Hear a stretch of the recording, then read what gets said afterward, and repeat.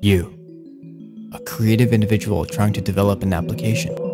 Whether you're writing some code, editing a video, or making a 3D model, there are many factors you may want to consider. Sometimes, when designing, we focus too much on the visuals in such a way where we design for ourselves rather than the user. Putting your personality into what you create is great, as long as it doesn't interfere with the user's journey. If you're on a computer, take a look at your mouse and keyboard. Think about how these tools evolved over the years. What has stayed the same? Why do you own this particular pair? Because of their color?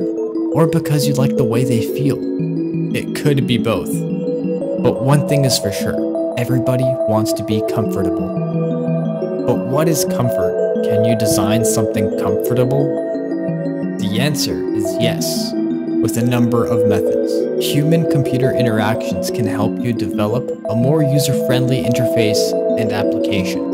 It's the study and collection of data based on human factors, focusing on designing cognitively for the users. All the senses, especially sound, sight, and touch, need to be considered measurements of users, how they identify, ensuring that your application is inclusive for various types of users is imperative to creating a more user-friendly experience. But how and when can you implement HCI? It may vary depending on the service or product you're developing. In this case, let's say you're developing a website. If you're an experienced designer, then you could probably go ahead and start coding. Otherwise, it can pay off to start doing some research. See what websites are popular. What are users currently used to? What's the layout like? The more familiar your interface is, the more comfortable the user feels. Fun fact, when a user interacts with an interface that does not feel natural, the size of their pupils change. During your research, you may notice that, for instance, bank sites all look alike it might be worth looking into your industry.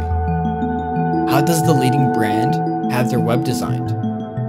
When you're done inserting content and start adding colors, effects, font families, and font weights, it'll be important to do some research on color blindness and how users may perceive colors differently. Visual impairment is common, and there are ways to design for this instance. Consider what colors you use when establishing important interactions. When you've got your site prepared, invite some participants to test your product or service. Survey them and see how you can improve your design. When we design, we typically have the user's interest in mind, but it's important to know that the user's interest is a part of the development itself.